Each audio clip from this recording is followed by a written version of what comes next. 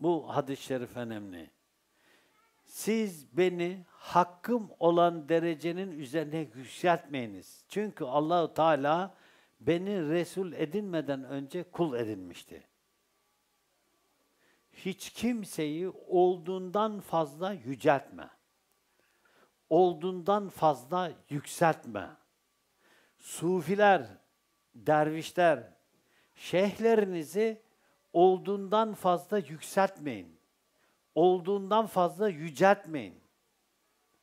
Bunun enflasyonu var şu anda. Bunun enflasyonu var. Boyna lakap takılıyor şeyhlere. İşte şudur, budur, budur, budur, budur, budur. Bir sürü isminden önce bir sürü lakap. Yükseltme kardeşim. Yapma. Şey efendiler, böyle yapılan şeyleri durdurun. Bunun sonu yok. Peygamber sallallahu aleyhi ve sellem hazretlerinden yüce göstermeyin şeyhlerinizi. Şeyh efendiler farkında değilsiniz. Müritleriniz sizi Peygamber sallallahu aleyhi ve sellem hazretlerinden daha yüce tutuyorlar. Daha yüksek tutuyorlar. Bu büyük bir bidat. Bu büyük bir günah. Bu büyük bir yanlışlık. Bunun sıkıntısını ümmeti Muhammed çeker sonra. Şimdi o şeyhin hoşuna gider bu. O dervişlerin de hoşuna gider. Ama geriden kalanlara doğru bir usul kaide bırakmıyorlar.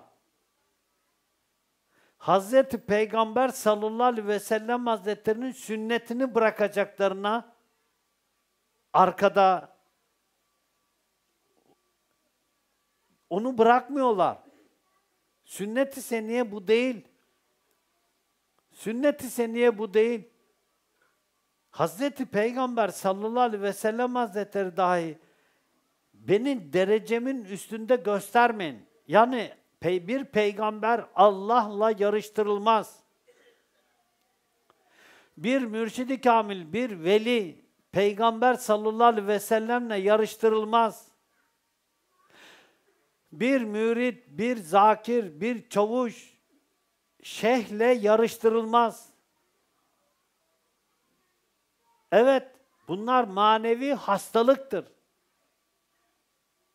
Bir insanı olduğundan fazla yüceltmeyin, olduğundan fazla yükseltmeyin.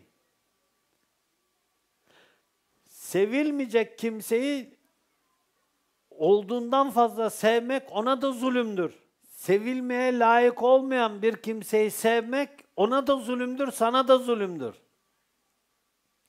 Sen sevilmeyecek kimseyi seversin, ona zulmedersin, şımarır, iyice kendinden geçer, kendini bir şey zanneder. Yapma. Sevilecek olanı sev. Gidip otu çöpü sevip de onu yüceltme. Onu kibir deryasına atıyorsun. Yapma. Gençler, genç kızlar, genç erkekler sevilmeyecek kimseleri seviyorsunuz. Heder ediyorsunuz kendinizi. Yapmayın. Sufiler, dervişler gerçek derece sahiplerini sevin sevecekseniz. Bu da nedir? Birinci derecede Allah'tır, sonra Resulullah'tır, sonra üstadındır senin. Yapma. Ona da zulmediyorsun. Kaldıramıyor o sevgiyi. Sonra kendini bir şey zannediyor. Bir bakmışın onun bunun ağzına tükürmeye başlıyor. Ne zaman şeyh oldun, ne zaman üstad oldun da, ne zaman senin sana manevi olarak senin tükürünün şifa olduğunu söylediler?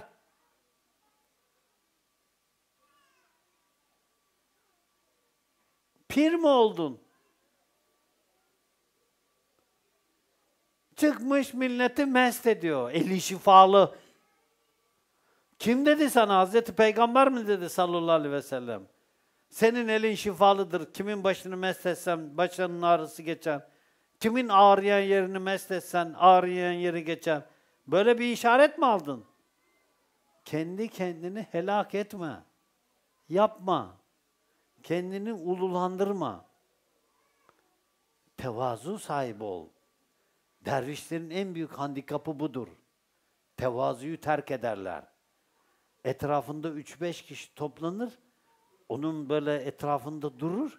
Etrafında durunca o da kendini bir şey zanneder, kendini ululatır. Tevazuyu terk eder. Helak olur. Allah muhafaza eylesin.